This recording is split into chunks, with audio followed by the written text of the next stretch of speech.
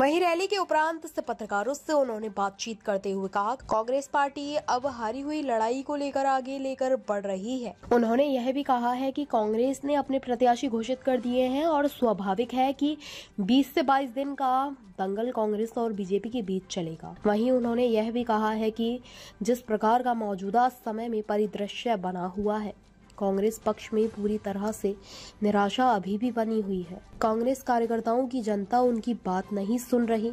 वहीं उन्होंने यह भी कहा है कि भाजपा को पिछले तीन दिन में जनता का अभूतपूर्व समर्थन मिल रहा है। वहीं पिछले दो दिन से जो दृश्य बना है, उससे ऐसा लगता है कि हरियाणा में दस दिन की सीट पर भाजपा विजय होगी। मनोहर लाल खट्टर ने कहा कि अब दो दिन से चुनाव में मज़ा आना शुरू हो गया है। अब चुनाव लड़ने में मज़ा इसलिए आने लगा है क्योंकि लड़ने वाला है। वहीं अलग अलग लोकसभा सीट के लिए कांग्रेस प्रत्याशी को लेकर उन्होंने कहा, कांग्रेस पार्टी प्रयोग कर रही है, लेकिन उनके प्रयोग में दम नहीं है और कांग्रेस के लोग हैं जिससे अपना वोट बैंक मानते थे। अब वह खिसक रहा है। वहीं जिस वर्ग को चार चार सीट दी जाती थी, अब उन्हें दो सीट पर कांग्रेस ने सिमेट कर रख दिया है। क्या हुई? और जो खास देखकर आप भीड़ को लेकर कह रहे हैं कि अब गढ़ नहीं है आज की भीड़ का जो आपका अंदाज़ा है। देखिए जैसा मैंने बताया था हम नहीं कर रहे हैं। कि अब अब जो कांग्रेस आगे बढ़ रही है हारी हुई लड़ाई को लेकर के आगे बढ़ रही है।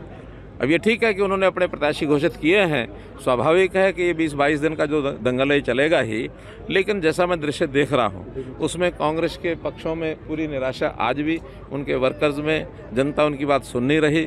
जितना जिस प्रकार से रिस्पांस हमें मिल रहा है और ख़ास करके पिछले तीन दिन में अभूतपूर्व है।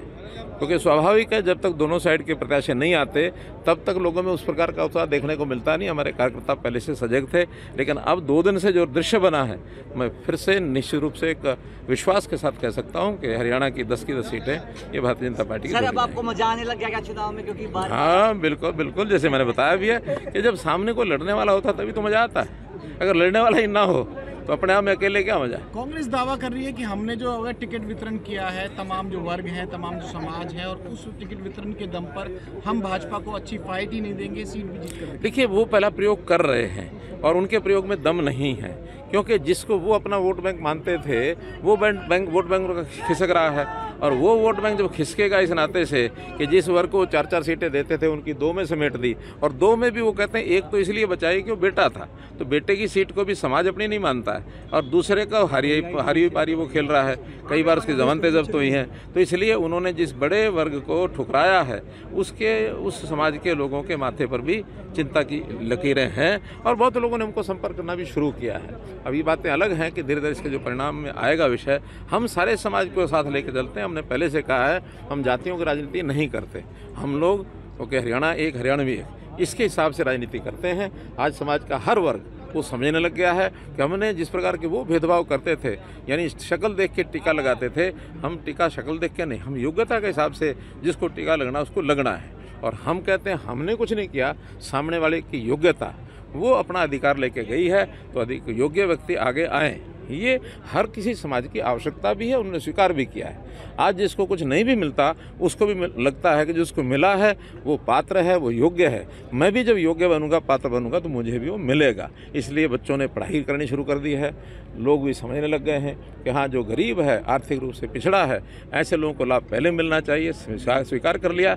और ये एक, एक कल्याणकारी राज्य जो होता है उसका ये दायित्व तो होता है इसलिए हम करते हैं जो हम कर रहे हैं जनता को पसंद आ करनाल में शेर के आगे बच्चा दे दिया इस तरह की चर्चा भी है आपका कद और नहीं वो शब्द शब्द बच्चा नहीं कुछ और था।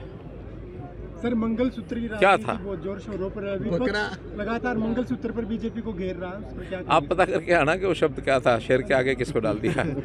सर मंगलसूत्र की राजनीति लगातार की जा रही है विपक्ष लगातार बीजेपी को मंगल सूत्र पर घेर रहा है प्रधानमंत्री का जो बयान था मंगल सूत्र पर उस पर क्या कहेंगे सर देखिए जिस प्रकार की घोषणाएँ कांग्रेस ने की हैं उसका अर्थ यही है कि वो लोग अब ये बात उन्होंने ही चलाई कांग्रेस के लोगों ने पहले। लेकिन जैसे संपत्ति का हम ब्यौरा मांगेंगे और संपत्ति का सबका कराएँगे, सर्वे कराएँगे, और उसके बाद वो संपत्ति बराबर लोगों में बांट के देंगे, ये देश दुनिया में कभी हुआ नहीं है। क्योंकि राइट टू प्रॉपर्टी प्राइवेट अधिकार है सबका अपना निजी अधिकार है। और जो निजी अधिकार होता है वो जिसकी अपनी कमाई होती है उसके पास ही रहती है। सरकार तो केवल उसमें एक इनकम टैक्स टाइप जैसे चीज़ें होती हैं उतना टैक्स लगा के तो लेते हैं। लेकिन किसी की संपत्ति को सर्वे करा करके उसको आगे बांटा जाएगा किसी के बीच में ये बात संभव भी नहीं है और इस बात को कुल मिलाकर के जनता पसंद भी नहीं करेगी और हम तो इसके विरोध में हैं ही हैं। उन्होंने जो घोषणाएँ की हैं, वो निरर्थक हैं। एक घोषणा तो उनकी जो थी, सुप्रीम कोर्ट ने उसको नकार दिया। सुप्रीम कोर्ट ने ये कह दिया कि उन्होंने कहा, हम जो आएँगे, हम ईवीएम मशीनें खत्म कर देंगे और हम बैलेट बॉक्स पर चुनाव कराएँगे। वो तो कल सुप्रीम कोर्ट ने उड़ा दिया। तो जैसे सुप्रीम कोर्ट ने एक उड़ा दी है, बाकी जनता उड़ा देगी। धन्यवाद।